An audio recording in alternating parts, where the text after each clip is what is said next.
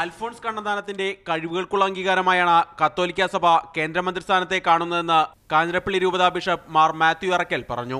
ക്രൈസ്തവ ന്യൂനപക്ഷങ്ങളിൽ B J പിയുടെ സ്വാധീനം വർദ്ധിപ്പിക്കാനുള്ള നീക്കമായി ഇതിനെ വ്യാഖ്യാനിക്കേണ്ടതില്ല.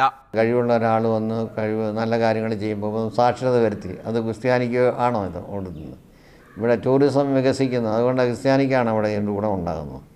വാസ്തവ ക്രൈസ്തവർ ഇവിടെ കർഷകരാണ് കൂടുതലും. അല്ലാതെ വേറെ ആരുമല്ല. സഭയ്ക്ക് ബി ജെ പി ഉൾപ്പെടെ ഒരു രാഷ്ട്രീയ പാർട്ടിയോടും അയിത്തമില്ല കേന്ദ്രത്തിൽ എൻ ഡി എ മന്ത്രിസഭകൾ ഉണ്ടായ കാലത്തെല്ലാം സഭയുമായി ബി ജെ പി നല്ല ബന്ധം കാത്തുസൂക്ഷിച്ചിരുന്നു മാറി മാറി വന്ന സർക്കാരുമായിട്ട് ബന്ധപ്പെട്ടാണ് കാര്യങ്ങളെല്ലാം ചെയ്തിട്ടുള്ളത്.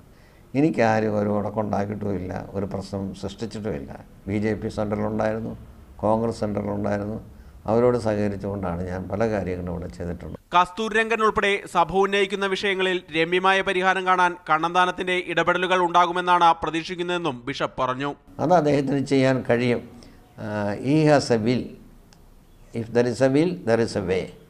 അത് ഉണ്ട് എന്നുള്ളത് ഒരു ഭരണാധികാരിക്ക് ഒരു ഐ എ എസ് ഉദ്യോഗസ്ഥ രീതിയിൽ അദ്ദേഹത്തിന്റെ സ്വതസിദ്ധമായിട്ടുള്ള കഴിവ് കൊണ്ട് ആ, ചെയ്യാൻ പറ്റുന്ന മാക്സിമം ചെയ്യുക എന്നാണ് എന്റെ വിശ്വാസം. മന്ത്രിയായി ജന്മനാട്ടിലെത്തുന്ന അൽഫോൺസ് കണ്ണന്താനത്തിന് രൂപതയുടെ നേതൃത്വത്തിൽ സ്വീകരണവും ഒരുക്കിയിട്ടുണ്ട്. മാതൃഭൂമി ന്യൂസ് കോട്ടയം.